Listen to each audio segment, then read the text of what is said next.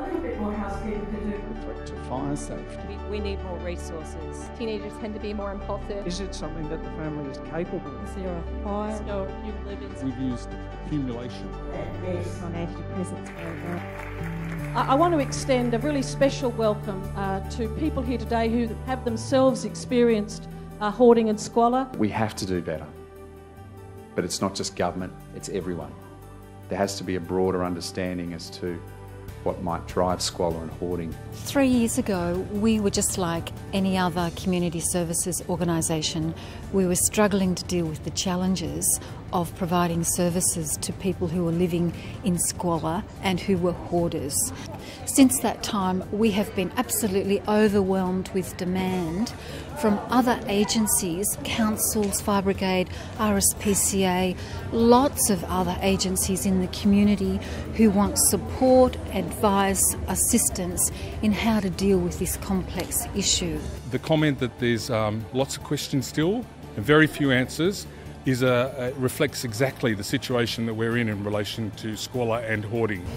We hosted the first national squalor conference in 2009 and since that time it's been obvious to us that an, a second conference was needed that's being held today in 2012 there's over 450 people here and a very diverse group of people. Hoarding and squalor is a very serious problem. It's a serious problem for the individual it's a serious problem for neighbourhoods it's a serious problem for council.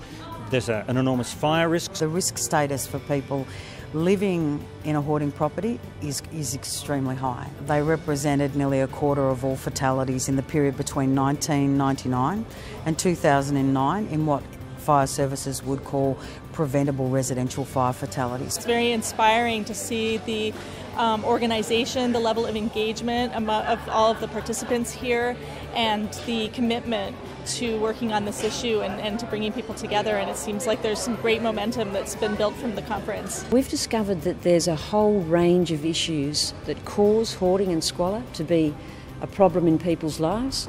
All age groups, all socioeconomic status, all over Australia. We predict there are something like 1 million people who are living with hoarding and squalor. Genuine steps are being taken.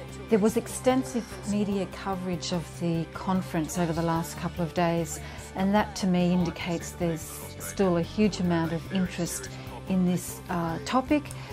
People are wanting to know what services are available, how to access those services and what are the causes and the solutions to this huge problem. pushing for hoarding to be recognised as a clinical condition.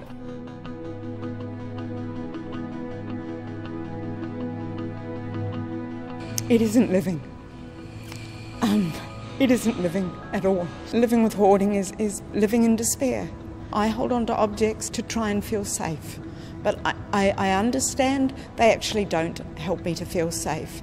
But as soon as I try and sort through the objects, as soon as I try and discard things, the despair that it leaves me in is more than I can cope with. MFB responded to a fire in a fairly middle class suburb to a unit. The hoarding in that property was up to about waist height, and that woman was deeply embarrassed having come home from work to find um, her life exposed because she actually worked as the local pharmacist.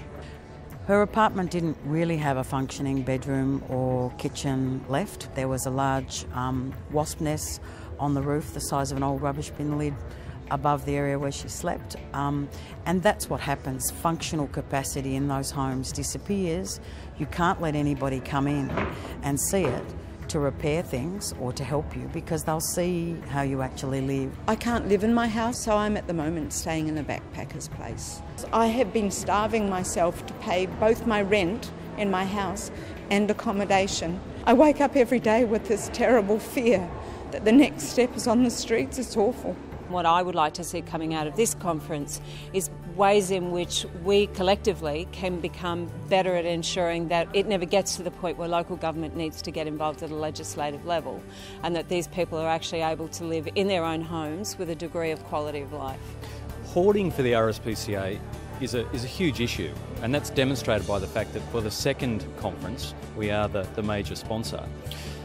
Two or three times a month, we would uh, we would get calls from the public concerned about people that are in charge of or own sometimes tens of animals and sometimes hundreds of animals on many occasions. And this is the irony for the RSPCA. They do genuinely love these animals. It's a moral dilemma for our inspectors as to whose welfare comes first. Is it the humans or indeed is it the animals? There, there are a myriad of ways in which the new technologies could be used. And We're here to learn. We're here to, to understand the bigger issue. It's not just about the animals. We, we understand that. We get that. We want to be part of the solution uh, as well on this on this really complex issue. It's about trust. It's and you may have to go back to that person um, several times. They might close the door in your face, but you just keep going back and hope that you gain that trust. This conference has handled delicate and ethical issues very well, in my view. It's tried not to rescue people from their own dilemmas, it's tried to emphasise that you just can't go in with a skip and put everybody's junk in it. It's tried to emphasise the dilemmas of working with children and where there's animals involved.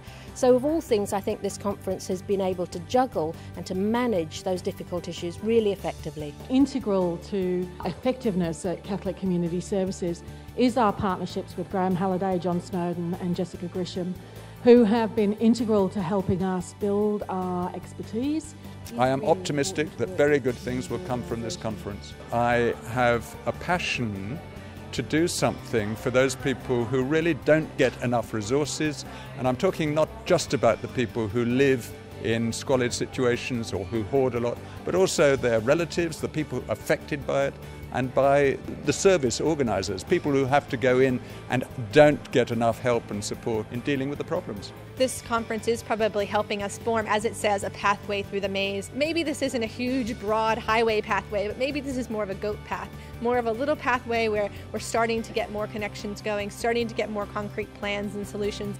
Catholic Community Services is very committed to ensuring we take the energy from this conference and we go forward and we mobilise governments to develop a national strategy and response to this issue.